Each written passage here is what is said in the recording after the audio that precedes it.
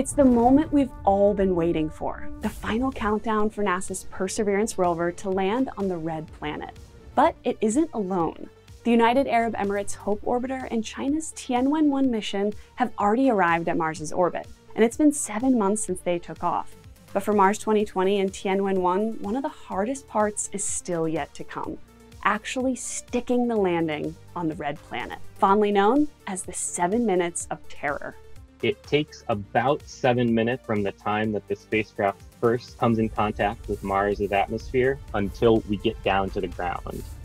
And the terror part comes in um, because you know all of that stuff is difficult. There are so many things that can go wrong as you're landing on Mars. This part of the mission is known as the Entry, Descent, and Landing, or EDL, and it all starts with the spacecraft hurtling through the Martian atmosphere at roughly 20,000 kilometers per hour, causing the external heat shield to heat up to around 1300 degrees Celsius. With some help from its heat shield, the vehicle slows down to about 1600 kilometers per hour, and this is when its supersonic parachute deploys.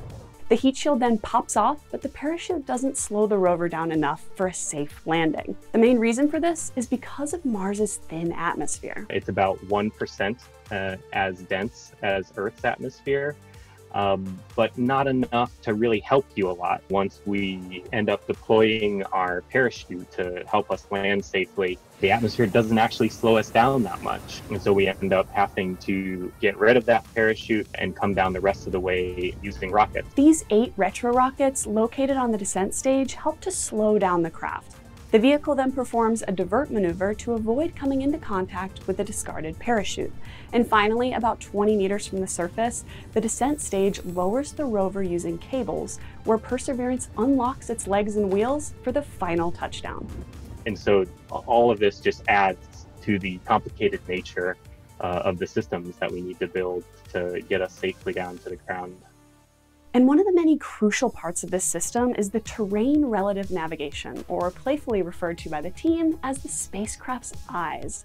This will be the first time that a NASA rover will be able to actually see where it's landing. Its onboard camera will snap pictures of the surface's features to match them to its onboard map and divert its course to pick the best possible landing zone.